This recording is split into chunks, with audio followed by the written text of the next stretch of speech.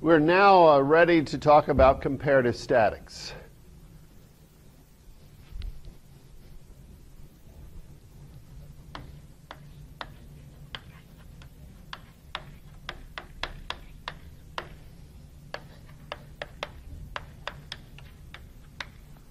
In comparative static analysis, what you do is uh, first you have a model, an economic model, that you solve uh, for the endogenous variables, the equilibrium values of your endogenous variables.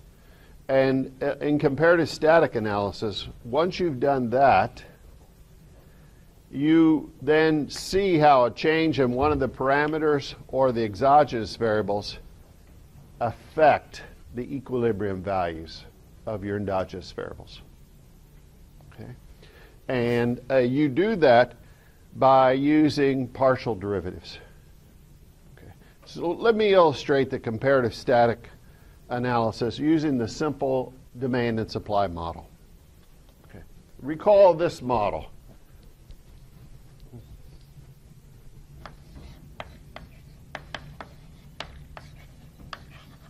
you have this demand function where uh, quantity demanded is a linear function of price.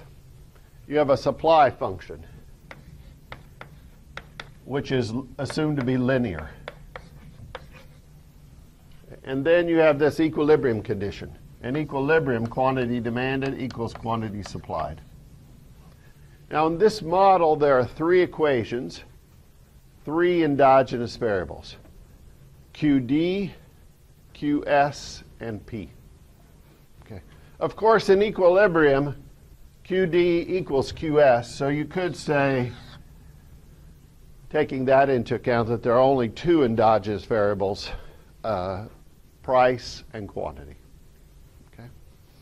Uh, the first step in comparative static analysis is uh, to solve the model for the endogenous variables. And let's, it's easy to get the expression for equilibrium price here.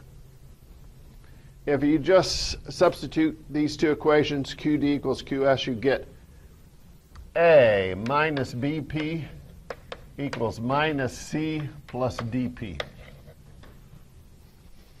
And uh, adding C to both sides, and adding BP to both sides, you get A plus C equals BP plus DP.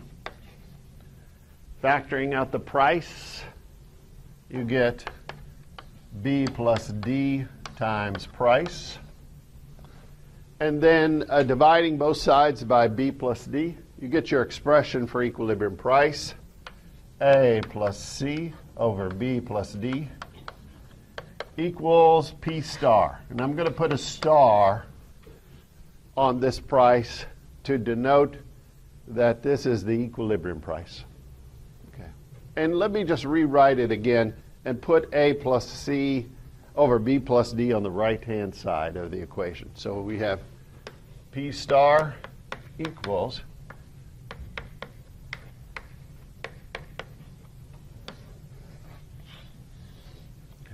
That's the expression for equilibrium price. Okay, this is just repeating stuff that we did in chapter 3 a long time ago. Uh, if we wanted the equilibrium quantity, then all we would have to do is go back to either the demand curve or the supply curve and substitute in for P. Okay, if we go back to the demand curve and substitute in for P, we get Q star equals A minus B P star. Okay. Just go to this demand curve and substitute in Q star for this and P star for that. And we know what P star is. We've already figured that out. So Q star must be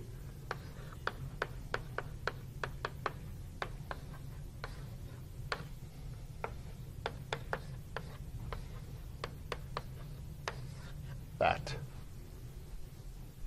which we can uh, simplify a little bit and rewrite this as putting b plus d in the denominator and the numerator here. multiplying by 1, we get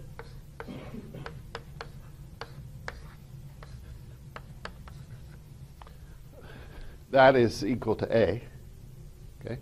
Then uh, minus B times uh, A plus C, all divided by B plus D.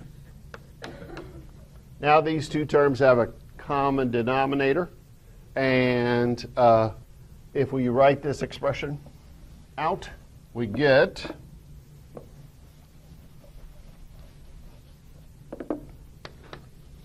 AB minus AB. Okay, that cancels. So this numerator just becomes AD minus BC over B plus D. Okay. So this is our expression for Q star. Let me write it up here. Uh, Q star, the equilibrium quantity is just AD minus BC over B plus D. And let's enclose that in a rectangle. Okay. So here's our expressions for equilibrium price and equilibrium quantity. Notice both of these expressions are expressed in terms of parameters. In some models, you would have parameters and exogenous variables. In this particular model, there are no exogenous variables, so it's just parameters on the right-hand side. Once we have these expressions,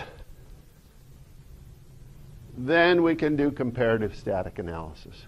And we can say, okay, what happens to the equilibrium price if this parameter A changes? What happens to the equilibrium price if the parameter B changes? What happens to the equilibrium price if C changes? What happens to the equilibrium price if D changes? By looking at these comparative static derivatives. The ones we, if we're interested in what happens to the equilibrium price, then we're interested in these derivatives. We're interested in how the equilibrium price changes as one of these parameters changes. Then we're interested in these four partial derivatives. And usually, what we're looking at is the sign of these partial derivatives. Um, sometimes we'd look at the magnitude but oftentimes, all we're interested in is the sign. What is the sign of this? Is this greater than or less than zero? Is that greater than or less than zero? Is this derivative greater or less than zero?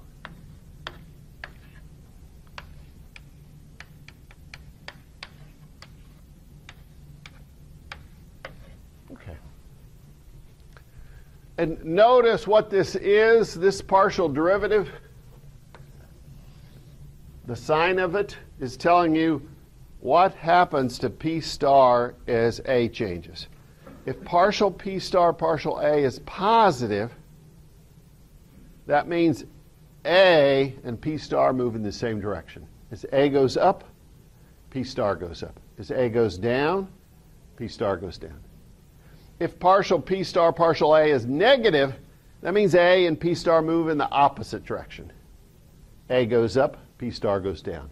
A goes down, P star goes up. Okay, so that's all that we have to do for comparative static analysis. That's all it is. It's just uh, first solving the model for all the endogenous variables expressed in terms of parameters and exogenous variables. And then checking all the signs of the partial derivatives. Okay.